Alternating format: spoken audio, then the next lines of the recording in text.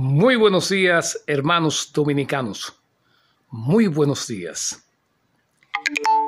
Y haciendo un recuento de los daños que provocó a nuestra nación la tormenta Laura, nos sentimos tristes porque fallecieron cuatro hermanos dominicanos y hubieron cuantiosos daños a nivel de Pedernales y muchos pueblos de nuestra nación, donde se supone hay más de 40 pueblos incomunicados hasta el momento. Pero el presidente de la República recién electo ha estado hombro con hombro con esos damnificados y los ha visitado todos los que pudo y les ha prometido que les remodelará sus hogares y si es posible, y los que sean posible, que estén en zonas eh, muy vulnerables acerca de las corrientes de las cañadas, arroyos y ríos, serán trasladados a otra locación donde puedan ser más protegidos. Así se refirió que esas medidas las tomará principalmente en la provincia de La Vega, San Cristóbal, San Francisco de Macorís, Santiago y Santo Domingo. Porque también, eso sí queremos hacer una salvedad y una petición, un pedido a nuestros hermanos que serán reubicados o que se les mejorará sus viviendas para que cuando vuelva y pase una tormenta o un huracán, no, no, no, no sufran tanto como todos sufrimos, porque ustedes son parte de nosotros, como lo hemos reiterado. Y el presidente hemos visto, el presidente actual, Luis Abinader, está tratando todo lo posible para que para paliar todos esos daños. Bueno, entonces lo que sí le queremos pedir a nuestros hermanos dominicanos que esas casitas que le están reparando y que los que sean removidos de, esas zonas tan vulnerables por, por las aguas corrientes o torrenciales, que les sean reubicados, que, les sean donadas casas, o no son donadas porque es el deber de, de un gobierno, proteger a la comunidad. Y en casos de desastres naturales, es el, es el gobierno que debe auxiliar a esas clases desposeídas que no tienen un seguro que les pueda proteger. Por eso, también es bueno que el, se les dé un documento firmando que esas casas que se les, les darán no las deben vender y el que las venda debe caer preso, conjuntamente con quien las compre esas casas. Porque ese es un crimen. Eh, si yo le propongo a usted compare su casita, que se la hizo el pueblo, yo soy un criminal también, un desalmado, porque quiero verlo a usted en la calle, a engrosar más el cordón de hambre y miseria que por lo general hay en nuestros barrios pobres. Eso debe ser así. Hermanos dominicanos, hay tantas cosas que uno se pone a observar en nuestra nación y, parte en el alma. Yo estaba analizando que hace un par de semanas eh, la bella salúa Francisco Javier García. Qué ridículo es. Quiso con su prepotencia ridiculizar a Paliza al secretario administrativo de la presidencia, que estaba en la oposición hace unas semanas, quiso ridiculizarlo y decirle que su edad no le permitía llamarle la atención ni hacer exposiciones tan geniales como las estaba haciendo. Y Paliza le contestó que qué pena que él pensara así de él y del pueblo dominicano que él representaba en ese entonces, porque ese partido lo que hizo fue que se burló de la nación entera. Ese Francisco Javier, ese pseudo ministro de turismo, ese pseudo ministro de turismo. Y por otro lado, ahí ustedes ven un, un sector del PLD recomendándole al ministro de Educación recién electo, o del gobierno recién electo, recomendándole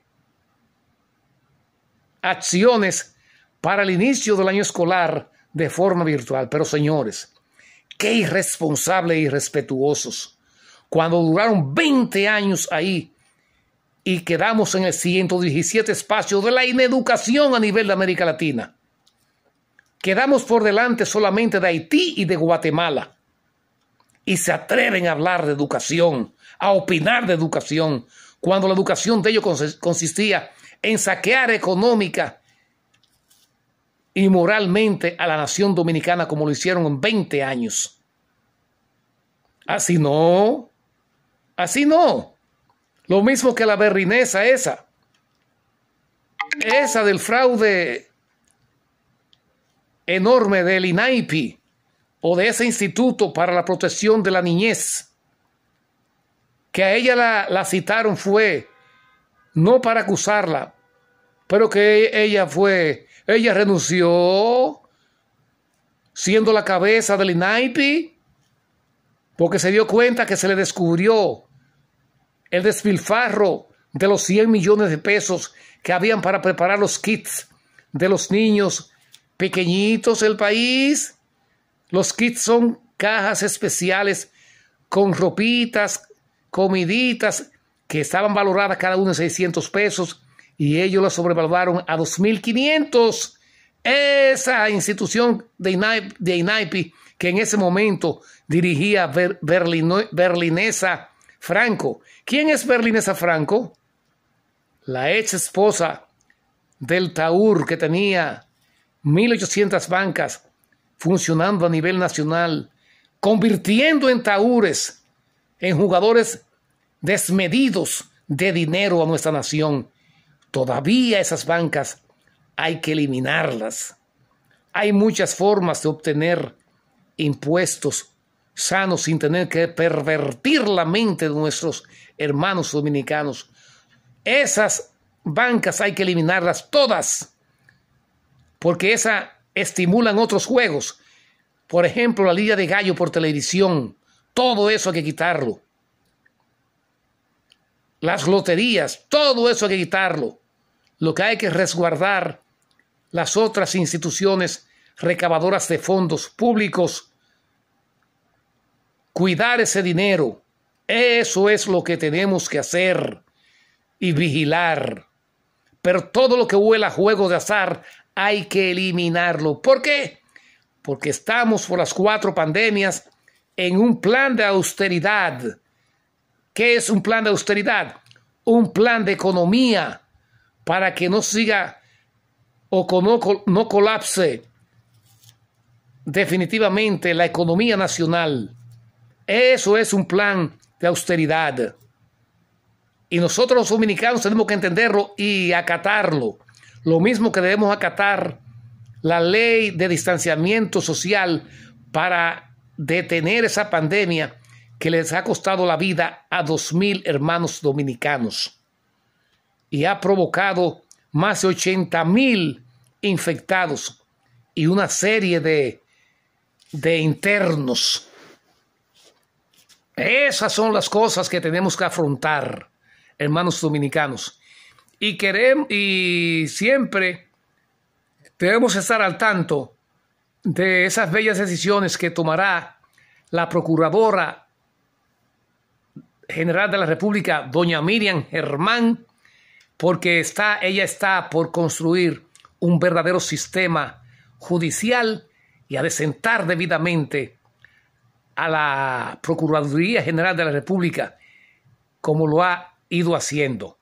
Ella está eh, seleccionando el grupo de fiscalizadores que trabajarán con ellas para de esa manera juzgar a todas esas instituciones, miembros de esas instituciones salientes que desfalcaron el erario público nuestro.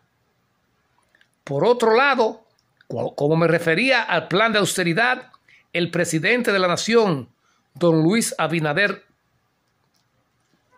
Corona, canceló una serie de ministros de diferentes instituciones de la nación porque no eran necesarios. Algunos eran necesarios, pero había que sustituirlos, porque se, es posible que estuviesen en contubernio eh, con los anteriores y si se dejan ahí pueden seguir perjudicando los ingresos para las arcas del Estado que tanto se necesitan, porque estamos en un plan de austeridad para poder afrontar debidamente la pandemia de coronavirus, la cual fue descuidada 100% por el gobierno saliente y ahora son capaces de querer opinar. Eso se llama no tener moral política. Porque cuando usted sabe que no hizo lo que le correspondió, debe sentirse avergonzado. Y ese falso PLD, comenzando por Leonel, siguiendo con, con Danilo, Temístocles Montaz, el gato, el gato Bautista,